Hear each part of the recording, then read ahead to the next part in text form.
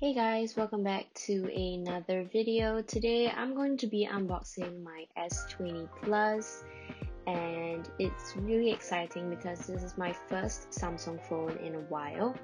Um, I've been using my iPhone 8 Plus for the past couple of years. Yeah, so when you open the box, you'll have a plastic cover that they come within. Um, it's a free plastic case and a quick guide, of course, to start you up. Then you, of course, get your phone. I got mine in cosmic gray and it's really pretty. I love it. We also get some AKG earphones. So these are meant to be, they are apparently really, really good for listening. So yeah, and of course there are chargers, but I already have been using this phone for a while now. So yeah. Great.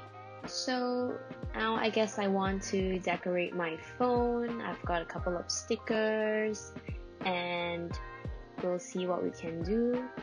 Oh yes, I made that. So that's a little art project I did. We also have a couple of um, photo cards which I collected from my various albums because we want to DIY our phone case and make it very army vibes. Yeah. So I wonder which photo card I'm going to choose. Hmm. Jungkook? Nah. Maybe we'll go for Seokjin because I think the color matches really really well. Great. So should I put a sticker on top of there? It kind of block, blocks his face a bit, so not too well. I think the planets look pretty good. Yeah, I think we're gonna go with that. Great, now I just gotta secure the casing and voila, we have our phone case up and running. So this is my wallpaper of Hobi and this is the first screen you see when you come into my phone.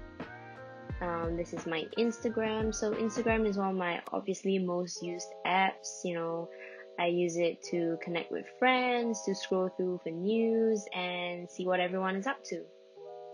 Then, of course, we have the IG stories, which I would look at what everyone is doing lately.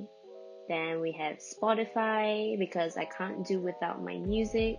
This is a, a playlist I got from, oh, so this is my playlist, Monday Vibes. If you guys want to listen to my music, you can definitely check it out. Um, yeah, I created this playlist and Next we have YouTube. So YouTube is where I watch so many different vloggers and just BTS mainly.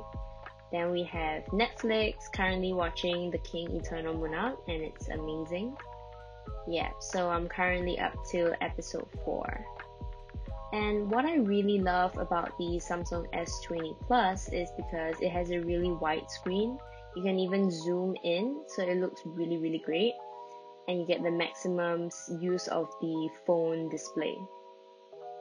Then we are going to head into, well, I think one of the apps I use, obviously my UOB banking app and LinkedIn. LinkedIn is great because I can find jobs there, look what companies' uh, job positions are available, and also check in, um, yeah, so YouTube Studio is where I check for comments and you know how my YouTube videos are doing.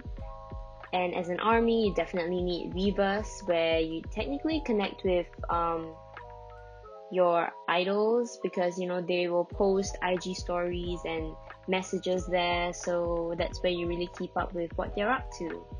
Yeah, that is so cute. There's also a lot of armies who post messages there in case you know BTS might see them. VLive is a great app also. So BTS usually post a lot of live videos and their Run BTS variety shows are on there, which I always, always catch. Um, yeah. Then we have TikTok. So t- this is a great video of a baby on a helium balloon, but yeah, I use TikTok quite a bit. Usually I post on my Instagram too. If you guys want to follow me, just hit and hit on to follow. And yeah, Twitter is great. So on Twitter, you know, I catch up with news on BTS mainly, and if I want to write my thoughts, feelings, what I'm up to. So yeah, definitely filming a video at this point in time. Great, love that. Yeah, so just keep up with all the news. And my Forest app, this is great for productivity. So you can control how much time you want to spend being focused on a certain piece of work. And when the timer sets off, um, then you can go back to use your phone. So Papago is great for me because I use it to translate English to Korean and vice versa. And yeah, sometimes I want to type messages and put it on Weverse, so this is what I use. Love it! Great. So the next app that I usually would uh, use, um, yeah, this is like the secondary screen where you get all the apps there. So yeah, for Teams, Teams is great. I use that for work. This is most of my working apps. So amazing.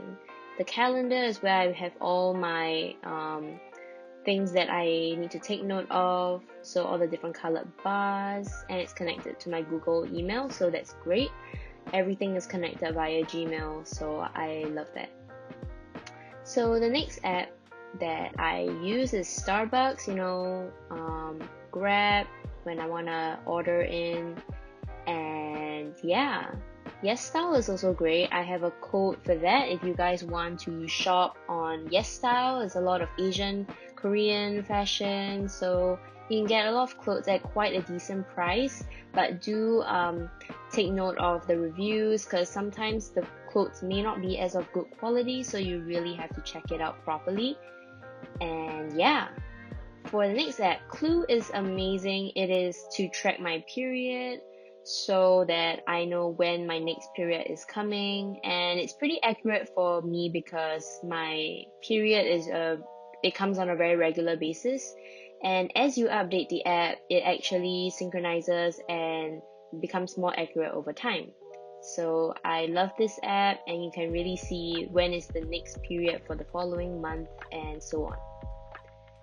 Yay! So SoundCloud is where I listen to some BTS um, original like music that they produce that they don't put on the album. So just personal music that they write and yeah, Jimin's Promise is great. Scenery by Tae.